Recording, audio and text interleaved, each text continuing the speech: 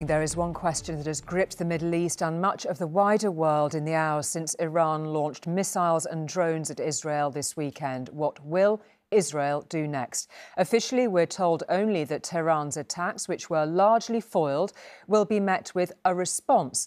But tonight, leaks from Benjamin Netanyahu's war cabinet give a suggestion of what may be planned. It's understood Israeli ministers have agreed to clearly and forcefully strike back, but the IDF will seek to avoid inflicting further casualties. Mr. Netanyahu himself is said to want to respond wisely and not from the gut. Early yesterday, we watched as history unfolded overhead. This was an unprecedented attack being stymied by an unprecedented shield, wielded by a coalition that included Arab countries defending Israel for the first time ever. The massive Iranian barrage broke a taboo, but not much else. Of the more than 300 drones and missiles sent this way, just a handful evaded interception, some landing in this southern airbase. The damage done by the aerial assault may be minimal, but that doesn't mean this swarm attack was anything other than seismic. On the operational level, on the strategic level, on any level, it's first time event. Sima Shine was a divisional chief in the Mossad and is an Iran expert. The question is how you retaliate, and uh, I think we'll, it will be smart to do it in a sophisticated way, not just by drones and the, and the aircraft. If you were still in the Mossad, what would you advise the government to do? To use the Mossad. I mean, famously, Israel assassinated the head of the nuclear program.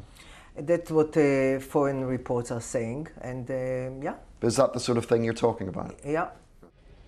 It's two weeks ago today that the Israeli Air Force attacked that Iranian diplomatic compound in Damascus.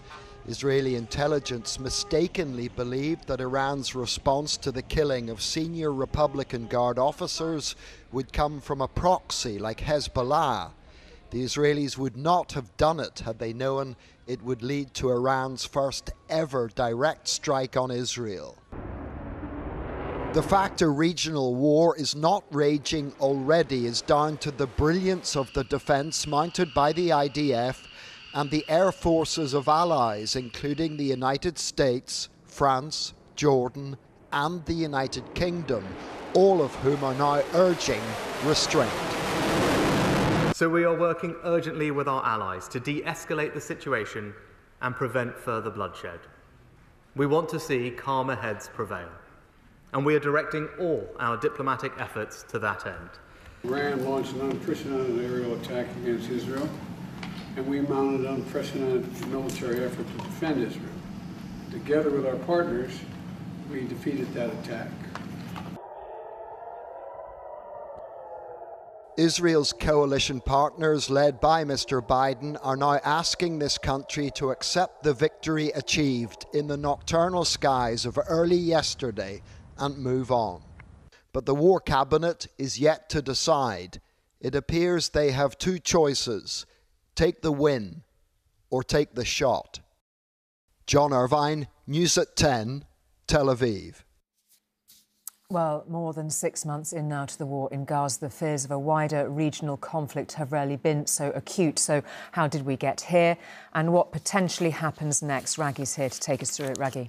Well, this decisive moment was begun by an attack that pushed this conflict closer to becoming a wider regional war across the Middle East. The first time Iran has ever launched a full scale military assault from its soil on Israel, despite decades of intense hostility. And it was sparked by that airstrike carried out by Israel in Syria's capital, Damascus. As you heard earlier, several top Iranian Revolutionary Guard were killed. They were responsible for coordinating Iran's proxies, not just in Syria, but also in Iraq, Lebanon, Yemen, and of course Hamas in Gaza, all against Israel. A response to the incident in Damascus had been feared, and on Saturday, of course, it arrived. Iran launched a coordinated attack with help from its proxies in the region. First went drones, then slower cruise missiles, and then finally faster ballistic missiles. But it was by its very nature a nuanced attack, and that's because Iran's drones took several hours to enter Israeli airspace, therefore allowing the IDF and its allies time to prepare a defense by the time the cruise and ballistic missiles were launched. 99% of the projectiles that were fired, according to the IDF, were hit. A joint effort between the US, the UK, and importantly, Jordan, home to a significant Palestinian population. Now, Israel will be compelled to respond some way, somehow. The question is when and how. I do not think that it's likely that Israel will uh, limit itself to, again, only corresponding with Iranian proxies. We've been doing that for many years. That hasn't been successful. Now is really the time to make Iran understand that their aggressive behavior will not go unchecked and that they are not going to pay the consequences for it.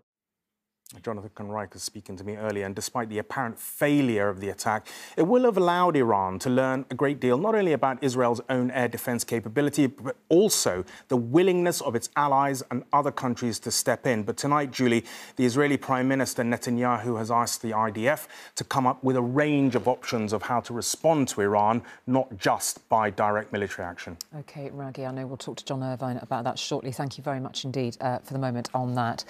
Well, in Israel today, unlike in Gaza, little sign of the immediate danger that this weekend haunted the skies. This morning, restrictions imposed in response to Iran's threats were lifted and schools reopened.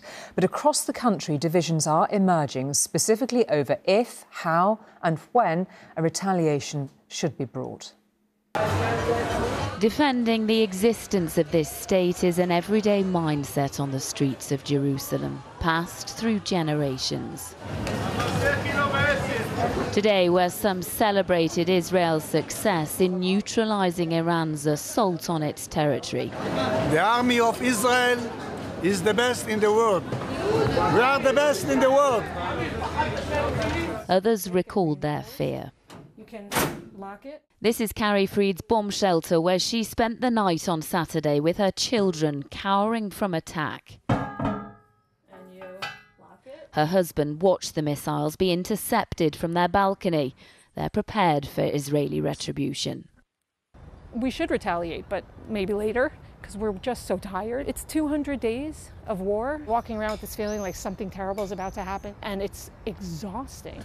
The Israeli way of life is intact, though. Normality seems to have resumed, but they're waiting for where and how bold a move their government makes next. Israel must attack Iran. You cannot have threat hanging on the air over your head. Simha Rothman is a lawyer and a right-wing activist. So you don't fear a full-scale regional war? Wake up and smell the missiles the attacks on Israel from Gaza, the attacks on Israel from Lebanon, the attacks from Yemen. We are in a regional war. Israel is in a regional war. A war where suffering knows no bounds. The weekend's focus may have shifted away from Gaza, but the bullets didn't. Children, families shot at as they dared to travel north.